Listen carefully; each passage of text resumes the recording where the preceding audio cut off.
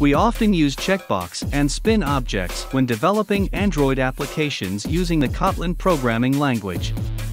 In this tutorial video we will make a simple Android application using checkbox and spin objects. The video consists of two parts. In the first part, we will transfer the project from GitHub to the computer. We will examine the design and coding part of the transferred project in detail. After fully learning how the design and coding parts of the project work in the first part, we will do the project again with you in the second part. After you understand how the project works in the first part, I recommend you to do the project with me again in the second part. If you have any questions let me know in the comments. You can download and develop the source codes of the project in this video from the Turtle Code GitHub account. Before starting the project, you can support us by following the Turtle Code YouTube channel and other social media accounts. We will transfer the project from GitHub account to computer. We can use the version control feature of Android Studio for transfer. Copy the project address from GitHub. In the description of the video, I will share the GitHub address of the project with you. Use the copied address in the version control object in Android Studio. Press the clone button and start the transfer process. The transfer process will be completed shortly. Select Trust Project to complete the transfer process. The transfer process has been completed. Let's start to examine the code and design part of the project in detail. We made the extension settings in the Gradle file in order to access the objects in the design section in the coding section using ID. We defined the options in the spin objects in the project in the string file. We synchronized the day, month, and year options with the array structure. We used array structures in the coding part of the main activity. This is the coding part of the main activity. We will examine all the codes in detail soon. Let's take a look at the design part of the main activity first. There are several objects in the design part of the main activity. Let's go to the code part to see all the properties of the objects. In the coding part of the design, identities were specified to access the objects in the design in the coding part created three spin objects indicating year, month, and day.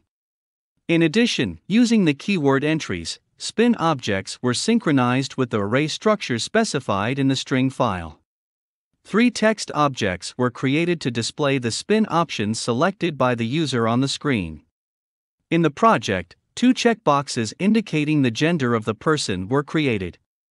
After the gender has been selected by the user, another text object has been created to show the chosen option. Let's start by examining the coding part of the main activity. We indicated that the option is selected in the year object by using the listener function with the ID synchronized to the spin object. We synchronize the year text with the year option. The same process applies to spins containing the moon. The listener function is synchronized with the spin object. The selected month option is synchronized with the corresponding text. The same transaction was made with the spin object containing day options. Its options, which include male and female options, have been synchronized with the listener function. A variable has been created. The variable is synchronized with the text. Run the project and let's see how it works. We often use checkbox and spin objects when developing Android applications using the Kotlin programming language. In this tutorial video we have reviewed a simple Android application that includes checkbox and spin objects. In the second part of the video, we will do this project with you from the beginning.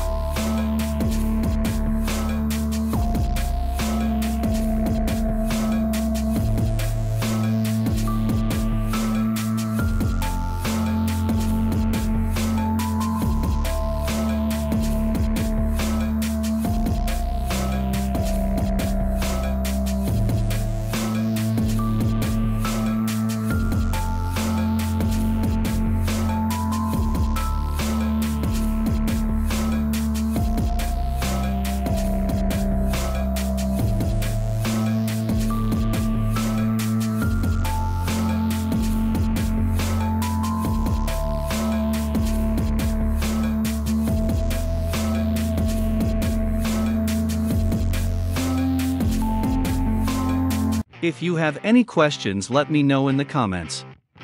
You can also support us by subscribing to the Turtle Code YouTube channel and other social media accounts.